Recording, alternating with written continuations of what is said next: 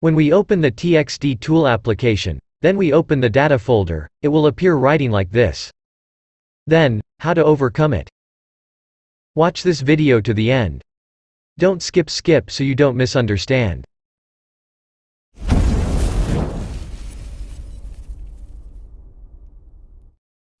The first step, you open the ZArchiver application. You can download this application in the Play Store or at the link in the description of this video. If it's already opened, all you have to do is just follow the tutorial as shown in the red box.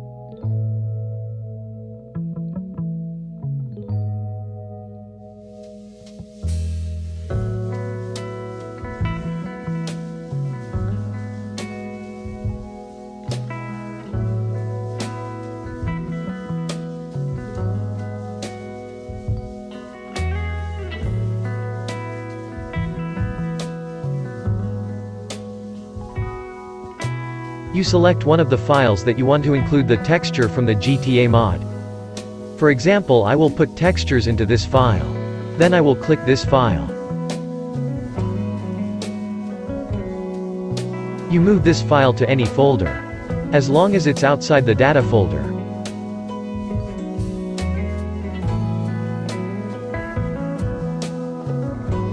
For example, I will move the files to this folder.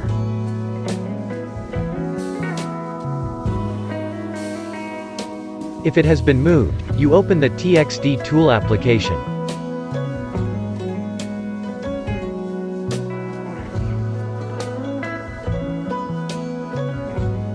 You are looking for the file that we moved earlier in the ZArchiver application earlier.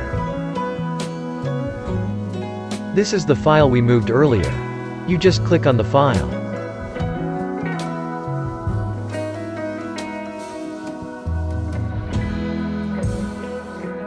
If so, all you have to do is enter the mod or texture that you want to import. So, we can still install mods or textures in this TXD tool application. As long as the file is moved outside the data folder first.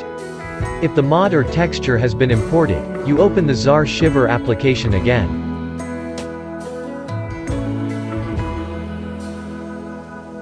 You are again looking for files that have been installed with mods or textures in the TXD tool application earlier. Here is the file. All you have to do is move the file to the texdb folder.